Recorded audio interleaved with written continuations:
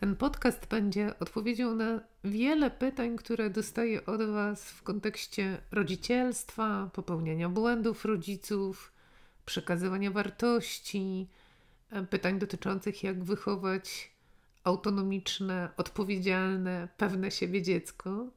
Na część z nich odpowiem, za wszystkie dziękuję. Czekam na kolejne. Jeśli coś Was zaciekawi, dajcie znać po tym, co usłyszycie. Czy jestem skazany na popełnienie błędów moich rodziców? Odpowiedziałabym, to zależy, a nawet powiedziałabym i tak, i nie. Ponieważ e, co obserwuję bardzo mocno i też eksploruję, to są tak zwane zaklęcia z dzieciństwa. Czyli takie zdania, które do nas mówili na to, co my o sobie myślimy, ale też jak my funkcjonujemy. I to są różnego rodzaju zdania. To są na przykład zdania postaraj się bardziej, stać cię na więcej, nie mów nikomu, co dzieje się w domu, ale to nie o tym chcę mówić. Natomiast co to znaczy, że czasami jesteśmy skazani, a czasami nie jesteśmy skazani na, popeł na popełnianie błędów swoich rodziców? Otóż po pierwsze, mamy nagrane pewnego rodzaju taśmy w głowach, czyli mamy pewien sposób myślenia o świecie, który wcale nie jest naszym sposobem myślenia, tylko jest sposobem myślenia, który nam włożono do głowy i który jest, no właśnie, przekazem rodzinnym. Czyli jest takim mm, działaniem, które nam włożono z racji tego, że tak funkcjonował nasz model rodziny. I to powoduje, że jeśli my sobie nie uświadamiamy tego modelu rodziny, to my będziemy go odtwarzali bezwiednie, tak jak właśnie taka taśma, która jest nagrana w głowie. I mimo tego, że mm, coś nam się nie podobało w dzieciństwie, to, to jednak jako dorośli to robimy. I to jest ten moment, w którym można by było powiedzieć, że tak, jesteśmy skazani na popełnianie błędów naszych rodziców, ale jest druga strona medalu i ona jest pozytywna, mianowicie możemy to odwrócić, jeśli uświadomimy sobie, jaki scenariusz realizujemy i czy tak chcemy. I to, co jest bardzo ważne, co ja obserwuję jako psychoterapeuta pracujący z parami, to to, że my się bardzo często zakochujemy w ludziach, którzy mieliby tak jakby nakarmić nasze głody z dzieciństwa. Czyli co to znaczy? To znaczy, że jeżeli ktoś miał mm, bardzo surowego ojca albo y, bardzo wymagającego ojca, to bardzo chętnie będzie chciał, chciała się połączyć z osobą, która będzie mało wymagająca, albo taka, która będzie y, odpuszczała różne rzeczy, żeby sobie nakarmić na przykład ten głód takiej elastyczności, jakiejś takiej łatwości w działaniu, takiego mm, odpuszczania sobie trochę. No i teraz, jeżeli my szukamy w partnerze życiowym naszego tak naprawdę taty albo mamy, czyli osoby, która ma nakarmić nasze głody, to my w pewnym momencie przestajemy być w relacji z prawdziwą osobą, którą mamy, czyli przestajemy widzieć tego człowieka realnie, a mamy wobec niego bardzo, bardzo dużo oczekiwań, że będzie jakiś, że będzie tolerancyjny, albo właśnie, że będzie trzymał granice, albo że yy, będzie przewidywalny albo że będzie zawsze dotrzymywał słowa, bo mój tata albo moja mama nigdy nie dotrzymywali słowa. Więc co to znaczy być skazanym na popełnianie błędów rodziców? To znaczy być nieświadomym tego, co się z nami dzieje. Czyli w momencie, kiedy ja jestem nieświadoma tego, z jakim schematem rodzinnym wchodzę w relację z drugą osobą, to jest bardzo prawdopodobne, że albo będę realizować pewne mm, takie zadane mi My to nazywamy skrypty. Czyli trzeba być grzecznym, nie wolno robić kłopotu, mm, trzeba być dzielnym i silnym, albo będziemy szukać osoby, która nam nakarmi te głody z dzieciństwa i partner, czyli mąż czy żona, będzie taką osobą, której zawiśniemy, wiecie, jak taki pięciokilogramowy diament na szyi, nie? pod tytułem Musisz być dla mnie miły, musisz mnie kochać, e, musisz być przewidywalny i tak dalej, i tak dalej. I teraz przestajemy być skazani na popełnianie błędów rodziców, jeśli uświadomimy sobie ten schemat i zaczniemy się zastanawiać, ok, dlaczego robię różne rzeczy? Dlaczego robię to, co robię? Dlaczego zachowuję się w taki sposób? Dlaczego takie osoby wybieram sobie na przyjaciół? A czy to jest tak, że to są ludzie, którzy mnie ubogacają, czy to są ludzie, którzy mają mi zapełnić jakieś moje braki z dzieciństwa, na przykład bycia ważnym? Ostatnio jedna dziewczyna mi powiedziała: Wie pani, jak do mnie, jak ode mnie ktoś dwa razy nie odbierze telefonu, to ja się obrażam, to ja nie chcę być w relacji z taką osobą. I kiedy zaczęłam dopytywać dlaczego, to usłyszałam, że no dlatego, że dla mnie nieodebranie telefonu oznacza odrzucenie. To była osoba, która w dzieciństwie wielokrotnie do, doświadczała odrzucenia, w którym mama mówiła: Jesteś niegrzeczna, idź do pokoju, przemyśl to, co masz do zrobienia. W związku z tym reaguje nadmiarowo na to, co się wydarza. I teraz, żeby nie popełnić błędów rodziców, to dobrze jest przyjrzeć się temu, jak my funkcjonujemy i dlaczego tak funkcjonujemy. Dlaczego tak, a nie inaczej. Czy to, co robię, czy to w jakie relacje wchodzę, mi służy. Czy relacje, w których jestem, są dla mnie satysfakcjonujące. Czy to jest tak, że ja mam poczucie wymiany, że tyle samo daję, co dostaję. Natomiast czasami jest tak, że zwłaszcza młodzi ludzie mówią: Nigdy nie będę taki jak moja matka, albo nigdy nie będę taki jak mój ojciec, albo nigdy nie będę taka jak moja mama, albo ja nigdy nie popełnię takich błędów. Jeszcze czasami niektórzy mówią: Nigdy nie zrobię tego mojemu dziecku, a potem robią dokładnie to samo. Dlaczego tak się dzieje? Dlatego, że kiedy mówimy nigdy nie będę taki jak mój ojciec, albo nigdy nie będę taka jak moja mama, to tak naprawdę mówimy, jacy nie będziemy. Czyli tak jakbyśmy chcieli, to jest tak, jakbyśmy chcieli odrzucić jakąś tożsamość, z którą wzrastamy. W psychologii mówimy o tak zwanym zjawisku modelowania, czyli że jeżeli żyjemy z kimś, kto jest dla nas ważny, to my automatycznie przejmujemy pewne jego zachowania, pewne jego gesty, pewne słowa. I teraz, kiedy ja mówię, nie będę taka jak moja mama, to żyję w zaprzeczeniu mamie. Tak? Ale ja nie buduję wtedy swojej tożsamości, to jaka ja będę. I to jest taki moment, w którym my możemy wyjść z sytuacji popełniania błędów naszych rodziców. W momencie, kiedy, zwłaszcza jako młodzi ludzie, mamy szansę zacząć zastanawiać się, ok, to jaki, jaka ja chcę być, to co jest dla mnie ważne, według jakich wartości ja chcę żyć i jakie mi będą służyły, a nie co mówią inni dorośli na temat tego, jaka powinnam być, jaki powinienem być, co w życiu się liczy, a co się nie liczy. Gdybyście teraz mieli słuchać dorosłych, którzy urodzili się w ubiegłym tysiącleciu, czyli takich jak ja, to dla nas bardzo ważne było skończyć studia, dostać dobrą pracę, wziąć kredyt i kupić sobie mieszkanie. Mam nadzieję, że to nie jest marzenie większości ludzi młodych w tym kraju, żeby wziąć kredyt na 30 lat i spłacać go do końca życia.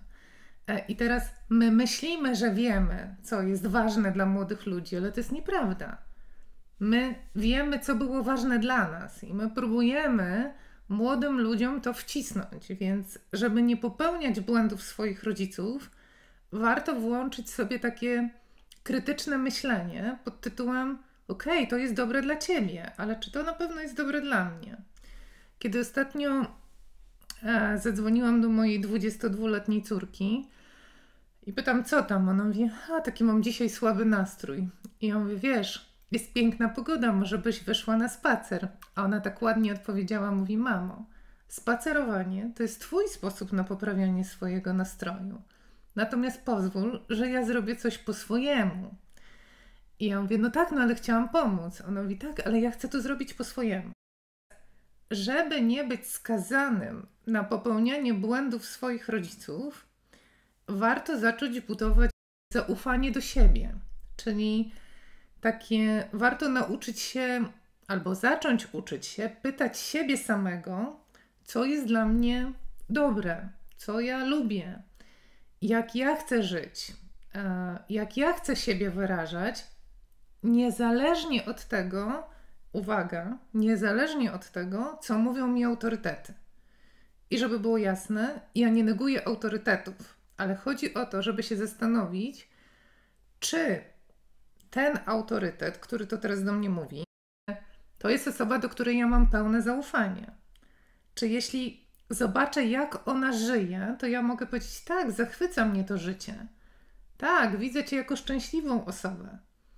Bo czasami różne rzeczy podpowiadają nam ludzie, którzy mówią, co powinniśmy robić i jak się zachowywać, a my patrzymy na ich życie i sobie myślimy, w życiu nie chcę takiego życia dla siebie, jak ty, jak ty prowadzisz. Czyli jesteśmy skazani na popełnianie błędów naszych rodziców, jeżeli bezkrytycznie będziemy realizowali wszystkie rzeczy, które się do nas mówiło.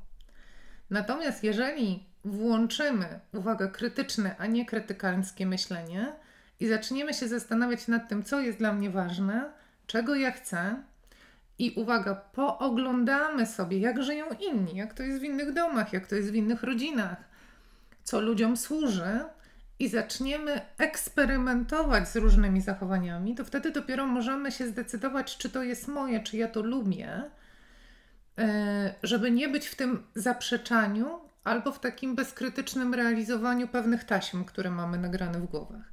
No i na przykład może być tak, że w czyimś domu zawsze był obiad z dwóch dań i deser. No i teraz mogę się zastanowić, czy ja na pewno chcę tak mieć zawsze u siebie jak mają inni. W niektórych domach są obiady jednodaniowe. W niektórych domach się wychodzi do tak zwanego miasta, czyli do restauracji, nie? W niektórych domach się jeździ do teściów. No, są różne historie. I teraz ważne, żeby się zastanowić, ok, która historia byłaby optymalna dla mnie. Co za tym idzie, pojawiło się drugie pytanie, które sobie ułożyłam w kolejności, jak nauczyć się wyrażać w przyszłości swojemu małżonkowi i dzieciom miłość, skoro w rodzinie się tego nie robi.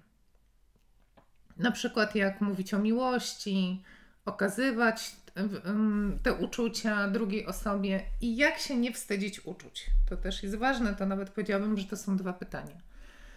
No więc po pierwsze, żeby się nauczyć robić coś inaczej niż to, czego my doświadczyliśmy, to trzeba zacząć się uczyć. Nie? Czyli trzeba gdzieś w bezpiecznym miejscu zacząć eksperymentować. Czyli tak sprawdzać sobie, czy ja to w ogóle lubię, albo w jakiej dawce ja to lubię. Mm, my bardzo tęsknimy za miłością, my bardzo tęsknimy za czułością, bardzo tęsknimy za delikatnością. W ogóle to jest. Coś, co powoduje, że czujemy się bezpiecznie. Wiecie, dotyk, czułość,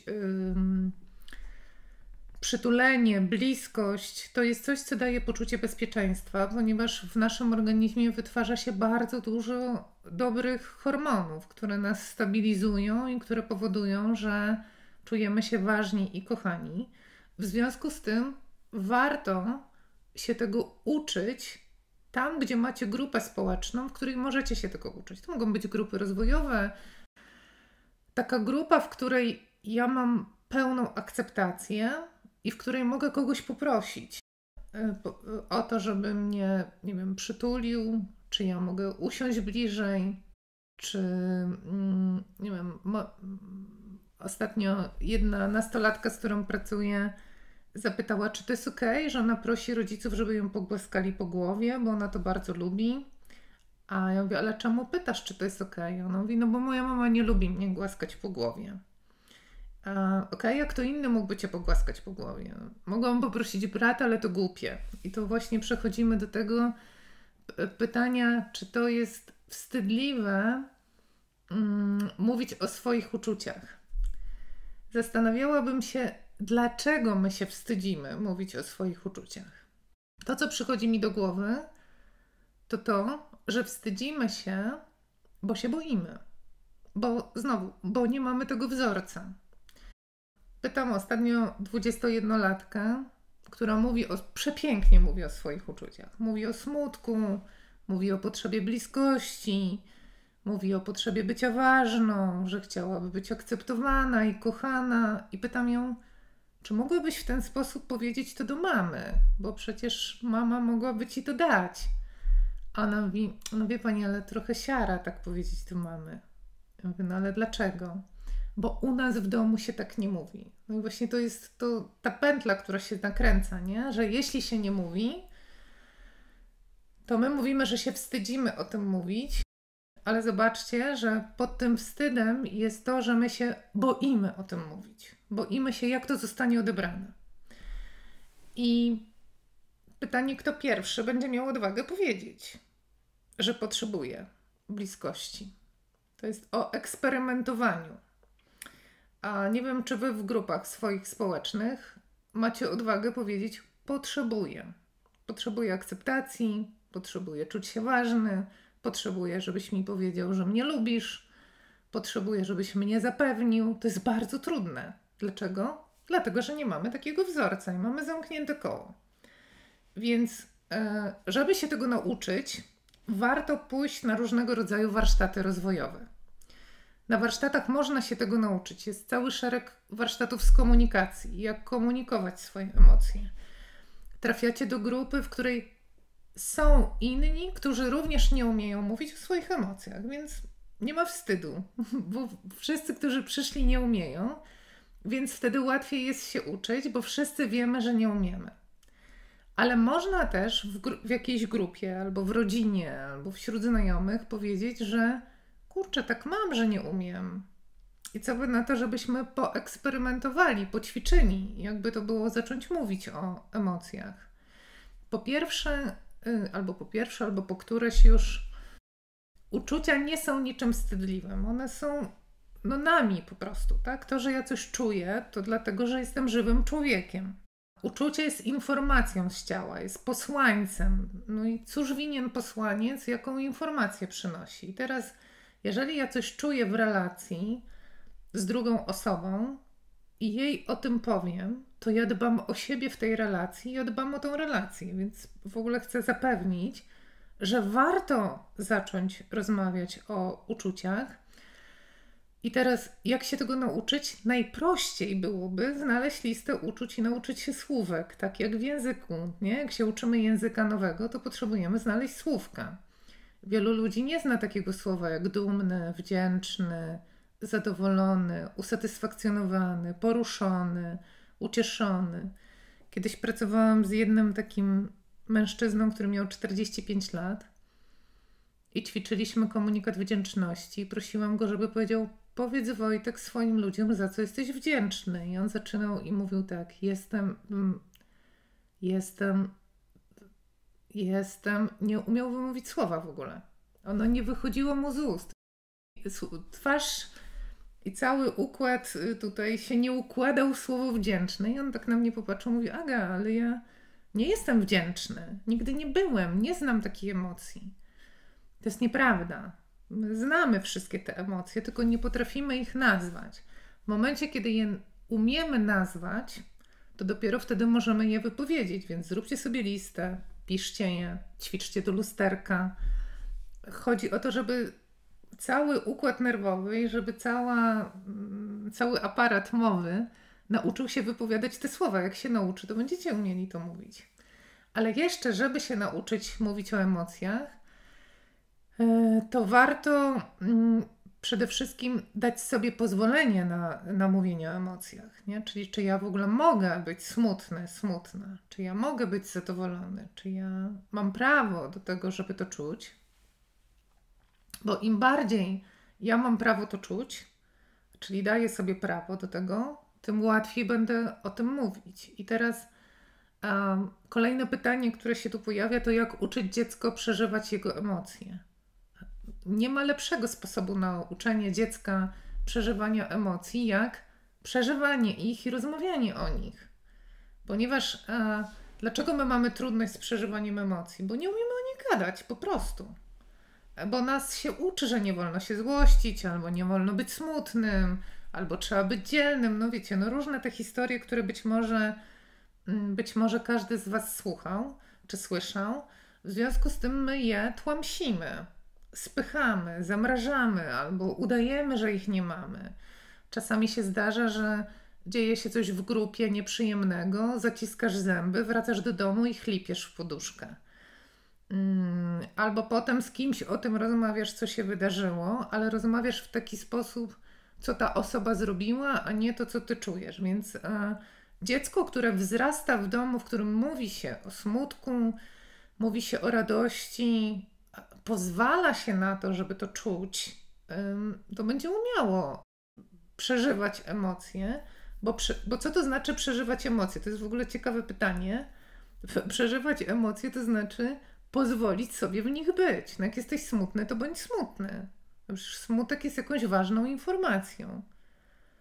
Co ci ten smutek mówi o tobie? No, może mówi o tym, że potrzebujesz bliskości, albo że czujesz się samotny. Jak się spotkasz ze swoim smutkiem, to możesz coś z nim zrobić, i wtedy się okazuje. No, co to znaczy przeżywać emocje? To znaczy je rozumieć, to znaczy mieć do nich dostęp, to znaczy lubić to, że ja czuję nawet lubić to, że ja czuję smutek, bo ten smutek mówi mi o tym, że żyję i że ludzie są dla mnie ważni. Kolejne pytanie. Mm, takie, takie dwa pytania, które się pojawiły, to w jaki sposób przekazać dziecku wartości, szanując jego wolność wyboru, i w którym momencie dziecko powinno decydować samo o swoich zainteresowaniach, a kiedy można mu narzucać zajęcia dodatkowe. Więc zacznę od tego, że w ogóle nie należy narzucać, bo to jest przemoc po prostu. Natomiast yy, jeżeli chcemy przekazywać komuś wartości, szanując jego wybory, to po prostu trzeba być autentycznym. Jak jesteś autentyczny i jesteś szczęśliwy i jesteś zadowolona z życia, i ludzie na ciebie patrzą i mówią: Kurczę, jakie ty masz wspaniałe życie. To oni cię zapytają o twoje wartości. To oni będą chcieli żyć po twojemu. Natomiast jeżeli mamy sytuację, w której mamy rodziców, którzy się kłócą, są dla siebie nieprzyjemni, mówią bardzo niefajne rzeczy do siebie i do swojego dziecka, a potem mówią: pójdźmy razem w niedzielę do kościoła. Bo to jest ważne, żeby żyć Ewangelią. No, no to błagam, no to jak możemy przekazywać wartości? I teraz pytanie, co to dla nas jest wartość w ogóle, nie? Wartość, gdybyśmy popatrzyli na różne definicje wartości, to wartość to jest coś, co powoduje, że ja jestem dobrym człowiekiem, że ja dbam o ludzi. Jeżeli dla mnie wartością jest empatia i moje dziecko widzi, że ja potrafię okazywać empatię, że ja jestem wyrozumiała, że ja pozwalam na błędy, że ja nie karzę za byle co, to ono będzie żyło, wzrastało w wartości pod tytułem empatia i będzie wiedziało, że warto tak funkcjonować. Jeżeli ważna jest dla mnie prawdomówność i mówię do dziecka, nie mów babci o tym, co rozmawiamy w domu. Albo nie powtarzaj babci, że tam, nie wiem, wzięliśmy kredyt, albo nie przyznawaj się, że chcemy kupić samochód, no to my działamy totalnie przeciwko wartości, czyli przekazy... nie, nie, ma lepszej, nie ma lepszej możliwości przekazywania wartości niż mm, świadectwo. No, świadectwo tego, kim jesteś i jak żyjesz, i nie musisz ludziom mówić o prawdomówności, jeżeli po prostu ludziom czy dziecku o prawdomówności, jeżeli ono zawsze widzi, że niezależnie od tego, czy jest babcia, czy jest koleżanka, e, czy jest teściowa, czy są jacyś inni znajomi, ty zawsze mówisz to samo. No jeżeli zawsze mówisz to samo i jesteś osobą prawdomówną, to nie ma problemu. Jeżeli chcemy przekazać, że coś jest wartością, a zaprzeczamy przykładem naszego życia, to, to nie ma szans się to nie ma szans się po prostu zapiąć i nie ma szansy tej wartości przekazać, ale oczywiście warto też zadać sobie pytanie, wracam do pierwszego. Czy to, co ja uznaję za wartość, jest naprawdę moją wartością? Czy ja uważam, że powinno być wartością? I co za tym idzie, czy ja w ogóle siebie postrzegam jako osobę wartościową? Bo wiecie, im bardziej jesteśmy wartościowi, tym bardziej dbamy o różne wartości, bo jest nam po prostu łatwiej. I w którym momencie, albo inaczej, jak, jak być z dzieckiem w kontekście tego szanowania wolności wyboru? To, to yy, powiedziałabym tak. Każdy z nas jest bardzo mądry. Wszyscy, którzy mnie słuchacie, jesteście szalenie mądrzy. I każdy z Was jest ekspertem w zakresie swojego życia. Wy doskonale wiecie, co jest dla Was dobre. I dzie dziecka należy słuchać od najmłodszych lat. To nie ma od którego wieku, czy jak ma 15, czy 17, czy 18. Czasami w niektórych domach się mówi, on jest za mały na to, żeby wiedzieć, co jest dla niego dobre. Nie wiem, czy słyszeliście to w waszych domach. Ale nie ma czegoś takiego jak za mały. My mamy mądre ciała, my wiemy, na co my mamy ochotę. My wiemy, co my lubimy. My wiemy, co nam sprawia przyjemność. Tylko, że dorośli postanawiają wiedzieć lepiej. Na przykład w wielu domach ciągle pokutuje takie, takie sformułowanie przed jakimś wyjazdem rodzinnym: idź zrób siku, bo będziemy jechać. Nie? Żebyśmy się nie musieli zatrzymywać. I dziecko mówi, ale ja nie chcę. No ale idź, bo zrobisz kłopot. Albo jest taka sytuacja w bardzo wielu domach. Omawiałam ją ostatnio na warsztatach. Mm, Niedziela, godzina 14.30, jest obiad. I dziecko mówi, ale ja nie jestem głodny. No ale jest obiad. Ale ja nie chcę teraz jeść. No ale przecież nie będziesz jadł potem zimnego. I jest dużo takich zachowań, w których my po prostu nie uwzględniamy drugiej osoby. I jeżeli jest pytanie, od kiedy należy uwzględniać wolność wyboru dziecka?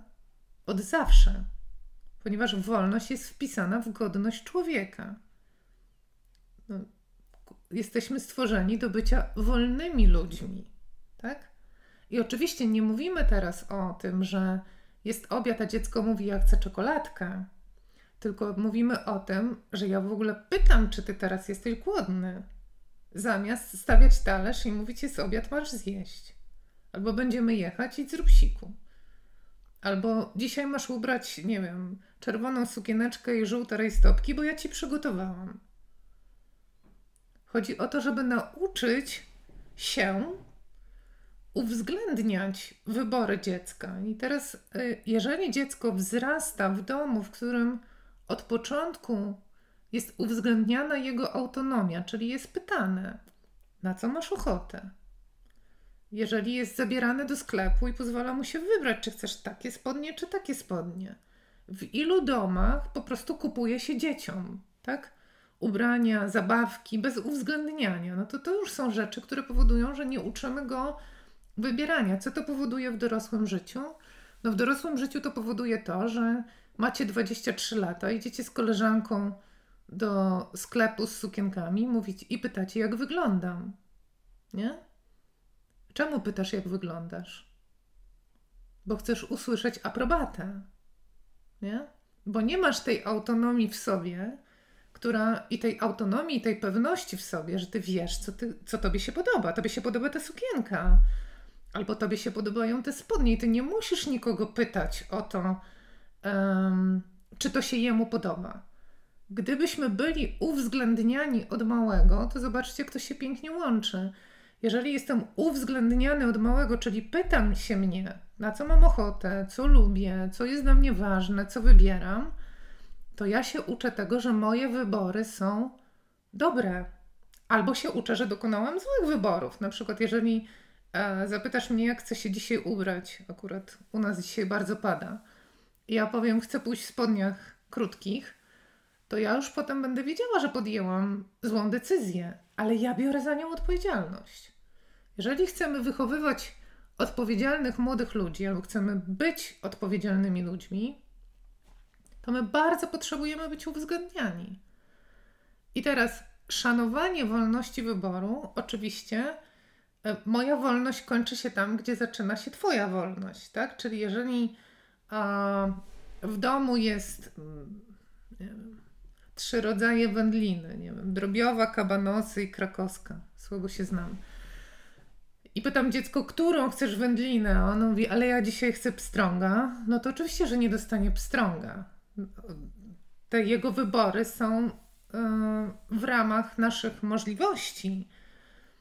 Ale ja pytam, a nie stawiam na stole. Dzisiaj po prostu krakowska, bo ja tak zdecydowałem, zdecydowałam. I teraz to co, to, co mówią wszystkie osoby, które się zajmują teorią więzi, to to, że im bezpieczniejsza jest więź między mną a dzieckiem, czyli im bardziej ono się czuje bezpiecznie w dokonywaniu swoich wyborów i im bardziej dostaje potwierdzenie, że ma prawo dokonywać wybory, wyborów, tym bardziej autonomicznym, niezależnym i pewnym siebie jest dorosłym młodym człowiekiem, a potem starszym człowiekiem oczywiście. Natomiast jeśli te wybory są nieuwzględniane i nam się narzuca różne rzeczy, łącznie z tym, że na przykład niektórzy rodzice mówią, no tylko w czerwonym ci ładnie. Nie możesz nosić żółtego, bo ci brzydko. No i ty potem całe życie uważasz, że jednak ci w żółtym brzydko, bo ktoś ci to zapakował, nie? I wchodzisz do sklepu i mówisz, nie, nie, to na pewno nie, nie dla mnie. Więc y, jeżeli mówimy o tym, kiedy szanować czyjeś, y, czyjąś wolność wyboru, od początku. No bo wtedy to jest w ogóle o szacunku i godności, o szacunku dla godności drugiego człowieka, nie? E, my jesteśmy mądrzy, mamy naprawdę bardzo mądrego wewnętrznego mistrza, którego warto słuchać. No i teraz oczywiście im bardziej pewny siebie i autonomiczny i wierzący w siebie dorosły, no tym, tym łatwiej jest mu to dać dziecku. Jeżeli rodzic był wychowany, czyli dorosły, był wychowany w tym, że rodziców należy bezwzględnie słuchać albo rodzicom należy się posłuszeństwo, no to tak też będzie wychowywał swoje dzieci. I znowu zobaczcie, wracamy do tego, że najpierw trzeba się zająć sobą, zanim zaczniemy być, jeśli to jest możliwe, zanim zaczniemy być rodzicami, bo niektórzy już może są rodzicami. A, albo nawet jak już jesteśmy rodzicami, no to dobrze jest się zająć sobą i zastanowić się, ok, jaka jest moja tożsamość, jakie są moje wartości, jaki jest mój kręgosłup moralny, dlaczego ja wierzę w to, a nie co innego, co ja wybieram, bo jeżeli ja umiem wybierać, to ja pozwolę na wybory drugiej osobie.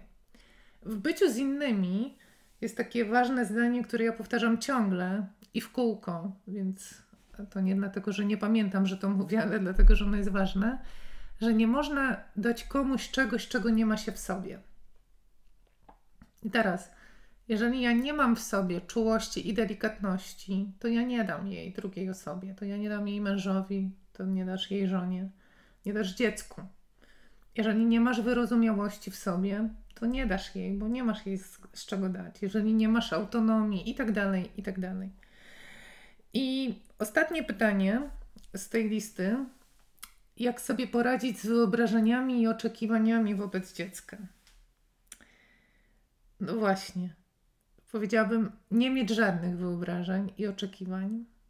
Kochać je takim, jakim jest, ponieważ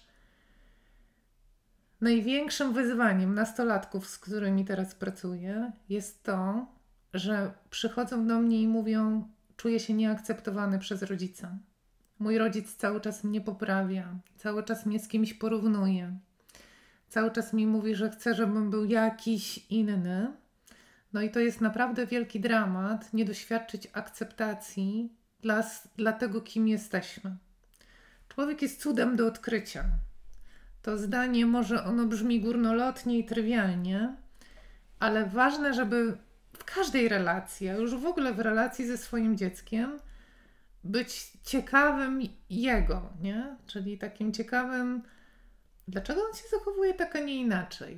Dlaczego lubi muzykę, a nie plastykę? Dlaczego jest mu łatwiej z matematyką niż z polskim? A nie, Chrystusie, przecież ja byłam taka świetna z polskiego, to ty też powinieneś być świetny z polskiego. Albo ja sobie doskonale rodziłam z matemat, albo ja. Hmm. Dobrze jest swoje ja i swoją przeszłość odłożyć i mieć takie, takie przekonanie w sobie, że wszyscy szalenie potrzebujemy akceptacji dla naszej inności. Nie wiem, co wy macie w głowach, ale było byłoby nam wszystkim zdecydowanie łatwiej i żyłoby się nam wszystkim zdecydowanie łatwiej, gdybyśmy mieli takie przekonanie, że inny jest po prostu inny, ani lepszy, ani gorszy. Że wszyscy zasługujemy na akceptację i na szacunek dla naszej inności, bo każdy z nas ma inną historię ze sobą. I teraz, rodzące się dziecko ma jakąś historię, którą ono będzie kreowało. Jeżeli my będziemy mieli wyobrażenie na jego temat, to będziemy go formatowali. Będziemy go po prostu krzywdzili. To jest tak, jakbyście dostali ziarenko, nie? Wrzucone w ziemię i to mówisz, pewnie będzie piękna róża. Nie wiem. Róże się akurat z ziarenka nie, nie ten, nie wyrastają, wiem, bredzę. One róża się akurat szczepi, ale jakieś ziarenko, nie? I teraz rośnie krzaczek, a ty mówisz, o troszkę mi się nie podoba ten krzaczek, przytnę go tak z prawej i z lewej. No i potem zamiast mieć pięknego krzewu, który będzie mm, miał cudne kwiaty, będziemy mieli skarłowaciały krzewik, bo za szybko przycięliśmy, albo bo byliśmy niecierpliwi, albo bo chcieliśmy inaczej, albo bo chciałem róże, a dostałem hortensję. I dlaczego ja mam hortensję, a nie róże? No dlatego, że ty jesteś taki, a nie inny.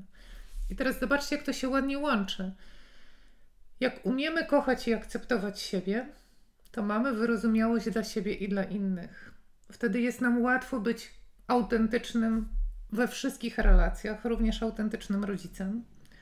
I wtedy jest łatwo akceptować dziecko. Im bardziej dziecko czuje się akceptowane, ważne i kochane, tym chętniej się rozwija i odpowiada na naszą miłość. Wtedy jest bardzo łatwo w relacjach. Podstawą w ogóle relacji jest akceptacja, ale taka akceptująca miłość, która mówi: Jesteś inny, tylko tyle i aż tyle. Co nie, znacza, że, nie oznacza, że ja się zgadzam na wszystkie Twoje zachowania, bo są pewne zasady i tak dalej, ale chodzi o to, żeby pozbyć się wyobrażeń, pozbyć się oczekiwań, a zobaczyć, co ta osoba niesie w sobie. To też można przełożyć na męża, żonę, nie? Mogę oczekiwać, że on, ona będzie jakaś, jakiś, a mogę go odkrywać jako osobę, która jest mi dana z jakimś swoim potencjałem, z jakimiś swoimi talentami, cechami. I ja sobie to oglądam, co ja mogę od tej osoby dostać. Czym my się możemy wymienić, co ona w sobie ma dobrego, zamiast szlifować, przycinać, dziubać, mówić, co z nim nie tak i tak dalej. To chyba tyle bym na ten moment hmm, powiedziała na te wszystkie pytania, które były, bo już jest dużo czasu minęło. Jeśli macie jakieś pytania albo coś chcielibyście dodać do tego, co powiedziałam, albo coś do tego, co się wydarzyło, to chętnie chętnie odpowiem, czy coś Wam zarezonowało. Można napisać, można się włączyć.